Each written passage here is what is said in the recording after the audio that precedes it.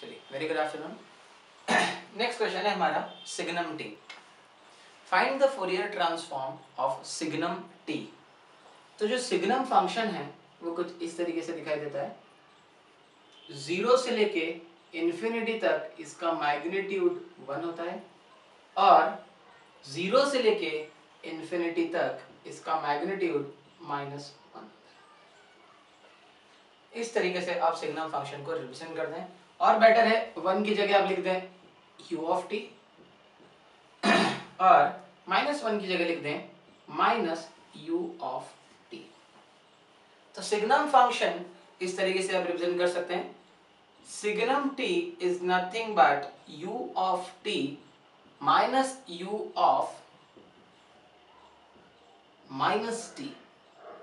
ये negative axis पर आ रहा है तो minus U of minus T चलिए।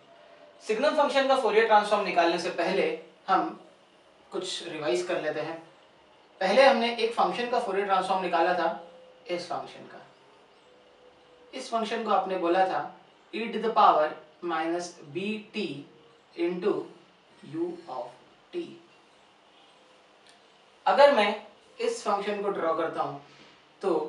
इस फ़ंक्शन को भी हमको पता है। इस फ़ंक्शन को हमने प्रेजेंट कर था e to the power B into U of minus T और अगर मैं इस फ़ंक्शन का एम्पलीट्यूड इन्वर्ट कर देता हूँ, मैं इस फ़ंक्शन को अगर रिप्रेजेंट करता हूँ तो मैं इसको रिप्रेजेंट करूँगा माइनस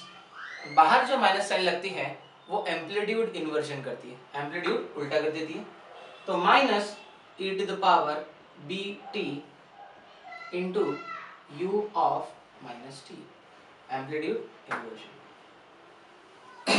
अब हम इस फ़ंक्शन को अगर साथ में लिखें तो हमारे पास में प्रेजेंट है। e to the power minus B T into U of T minus e to the power B T into U of minus T b जो है, वो स्लोप को दिखाता है। b is the slope of the function किस rate से आपका graph decrease हो रहा है या इंक्रीज हो रहा है? That is that is the value of B b. Is the slope of the curve इस फ़ंक्शन का फोरियर ट्रांसफॉर्म हमको पता है e की पावर माइनस बी टी का फोरियर ट्रांसफॉर्म e की पावर माइनस बी टी का जो फोरियर ट्रांसफॉर्म होता है, वो होता है आपका one upon B plus J omega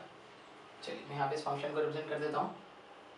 E की power minus B T into U of T minus E की power B T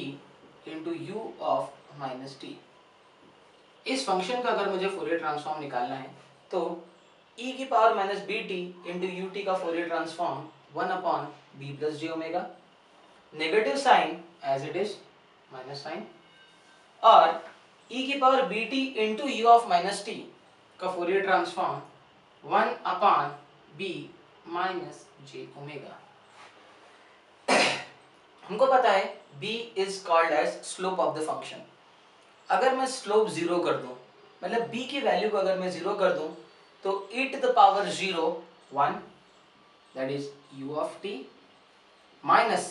e to the power zero again one u of minus t. जैसा आपने time axis पर करा है, वैसा का वैसा आपको फ्रीक्वेंसी एक्सिस पर भी करना पड़ेगा। क्योंकि फोरियर ट्रांसफॉर्म